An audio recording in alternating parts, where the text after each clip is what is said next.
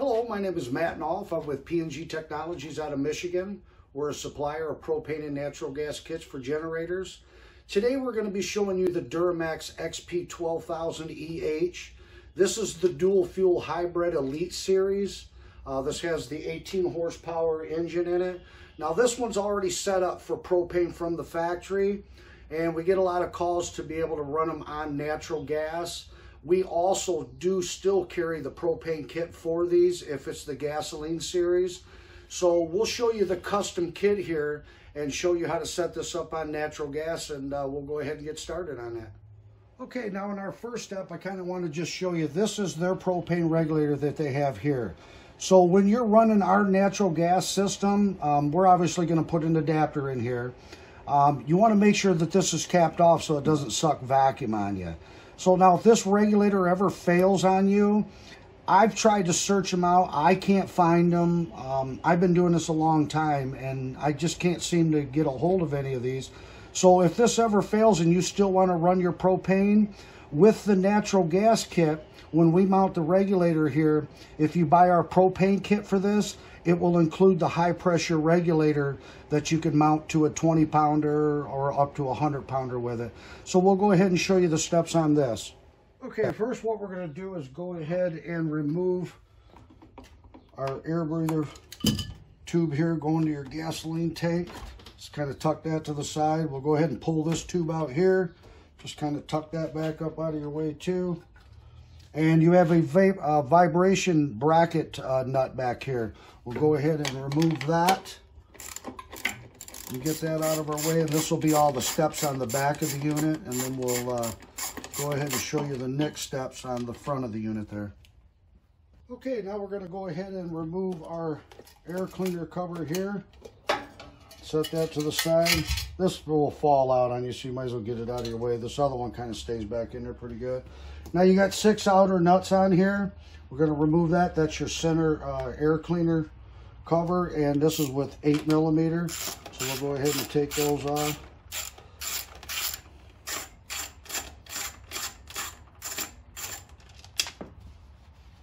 And these over here, at least this bends a little bit, so you can get over here and get the socket in them.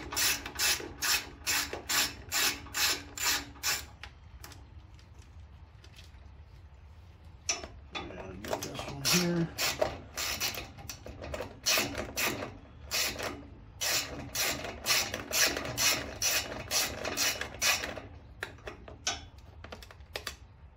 And we got one more here on the bottom of this side.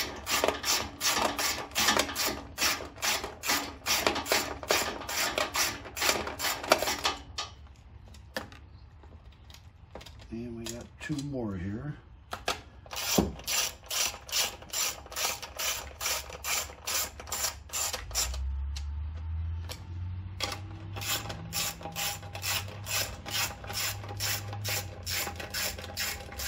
Alrighty, get that. We'll set that to the side and we'll show you the next steps.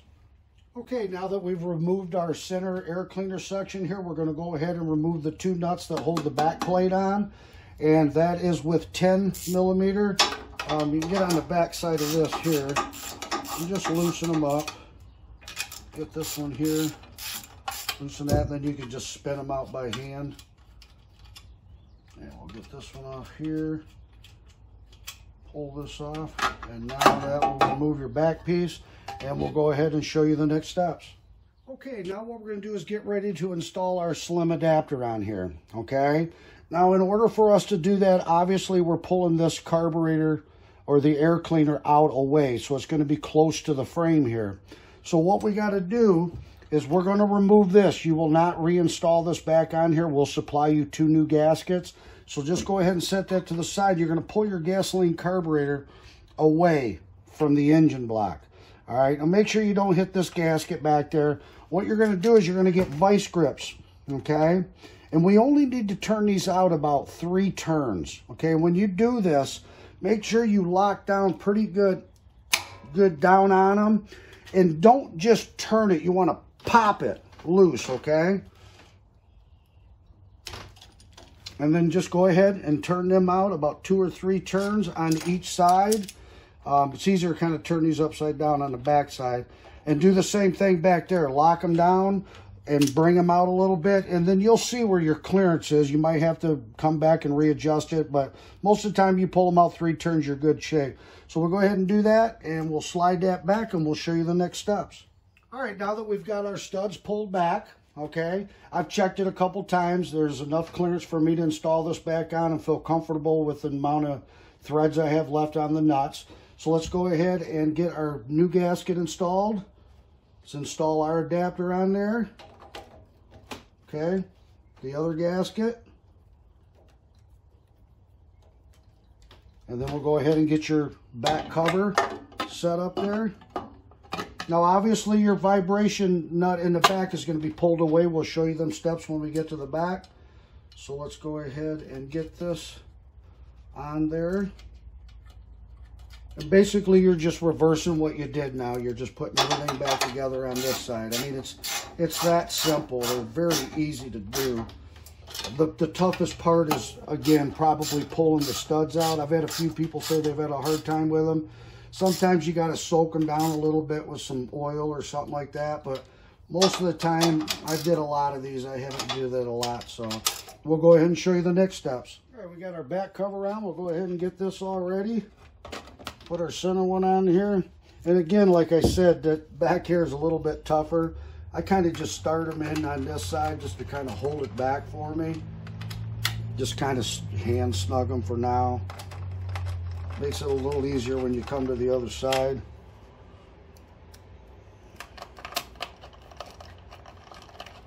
And these ones here, you just got to kind of feed with your hands at first. Just kind of get them up in there, get them started.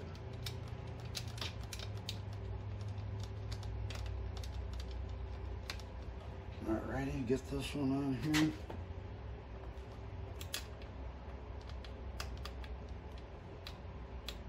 tight little tight fit in there, that's for sure. Once you get it started, you're all right.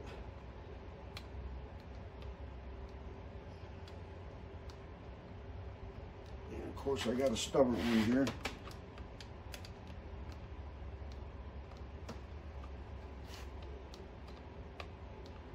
All right, I think I got it started. I said that kind of bends back, so all right, got that one started there. Go ahead and get our last one down here. We'll go ahead and snug all those down.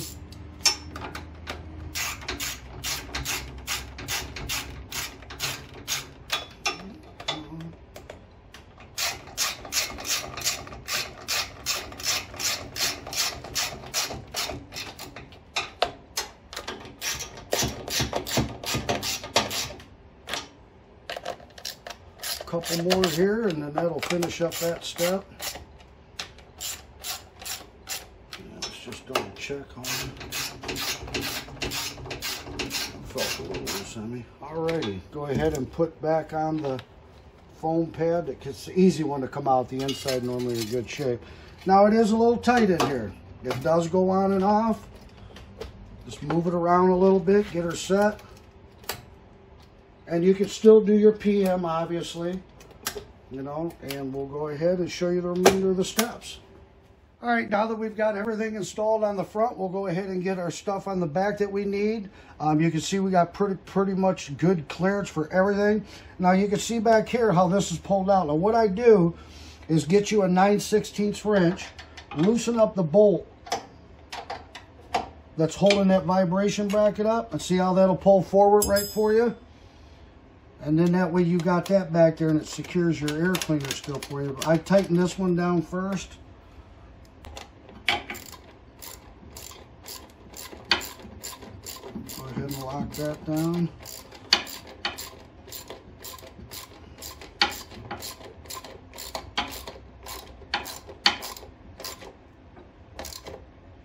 there we go. And then go ahead and tighten this back here.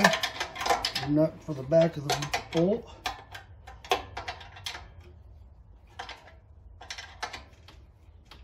Alrighty, go ahead and slide our hoses back over here.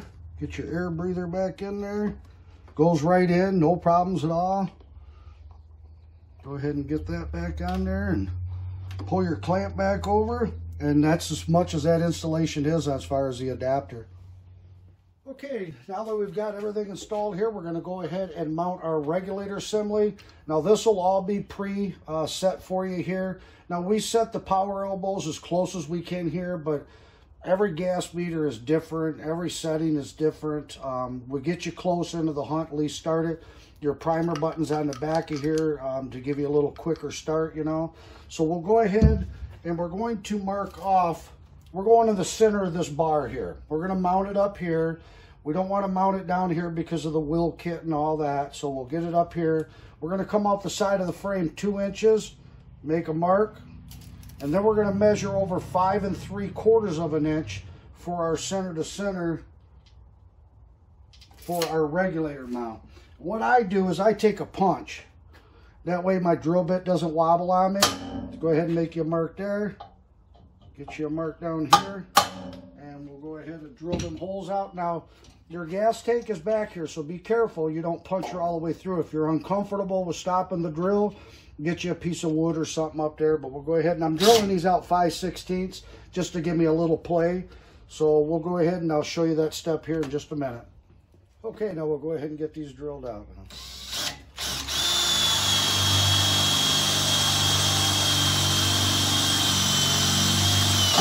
And it's thin tube, so it doesn't take much. It's the back one you got to worry about.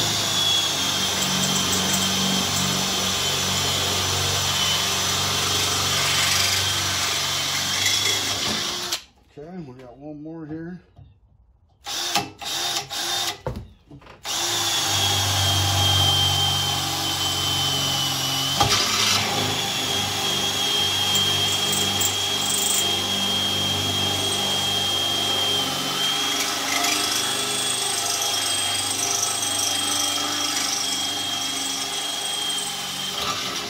Alrighty, we'll go ahead and clean them up and we'll show you how to mount the regulator on there. All right, now that we've got them cleaned up, what we'll go ahead and do is we'll supply you the hardware for this also. Um, go ahead and get that lined up there. Just kind of hold them up with your hands. And we'll give you the flat washer, lock washer, and that for the back.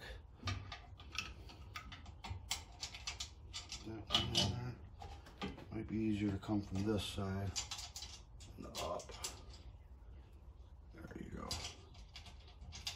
That one started on there. And we'll get our last one up here. And I let, the reason I kind of went over the side is you can still get to your spark plug here. You're going to change that. Um, if you decide you want to mount it over a little bit farther, then you'll just have to move it when you do a spark plug change. But All right, we'll go ahead and hold that up and we'll lock this down.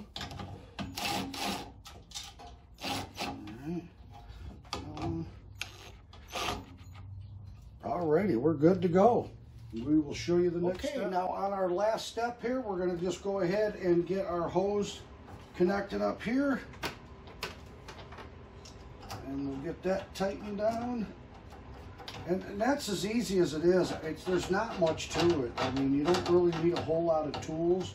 You know, and we'll go ahead and get this set up now and we'll uh, hook the natural gas up to it.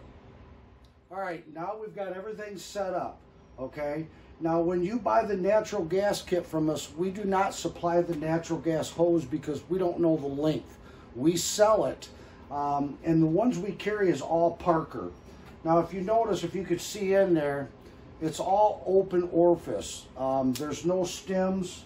Um, everything is all open. Um, a lot of people try to buy the other stuff off the internet um, that has a stem in the middle of these they will not work for natural gas. Now, as far as running a grill or uh, a furnace or something outside, you got a little barbecue pit thing, um, that's fine for that. But when it comes to a combustionable engine, they will not work. They'll starve out the engine. So you got to have the open orifice.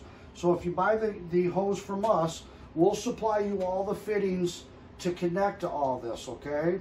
And we'll give you the compound for it. Um, obviously, we use a bigger tube here, but um, we'll supply you either the tape or the uh, liquid compound. Um, you go ahead and install, the, and this comes with the hose, all this.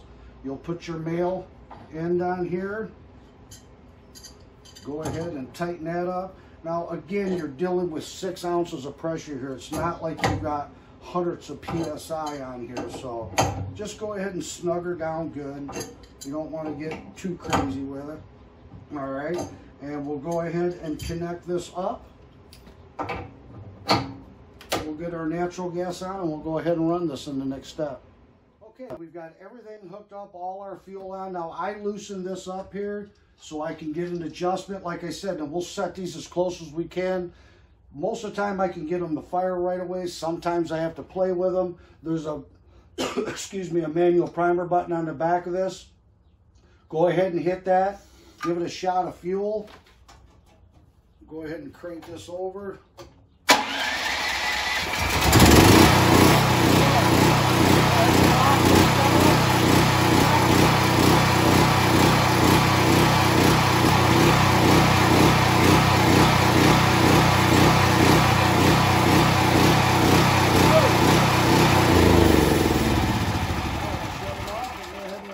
down, and that's the steps on that.